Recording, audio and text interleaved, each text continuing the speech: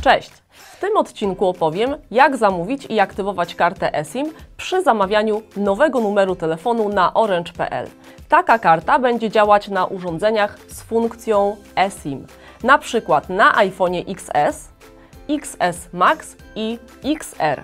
Dodatkowo, jeśli włożysz do tego telefonu drugą zwykłą kartę SIM, możesz korzystać z funkcji Dual SIM, czyli z dwóch numerów na jednym telefonie.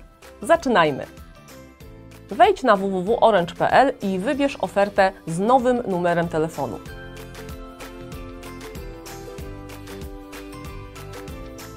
Domyślnie podstawi się standardowa karta SIM i nowy numer. Kliknij Zmień i z rozwijanej listy wybierz eSIM. Zatwierdź zmianę.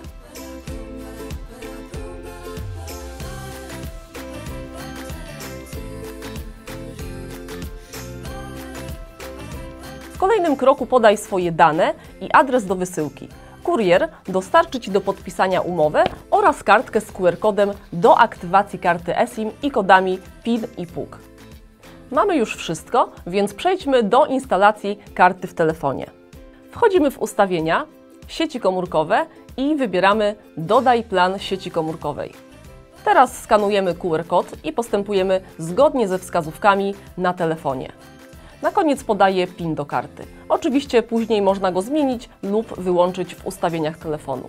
I to już wszystko. Karta eSIM jest już zainstalowana w telefonie. Dziękuję i do zobaczenia w kolejnym odcinku.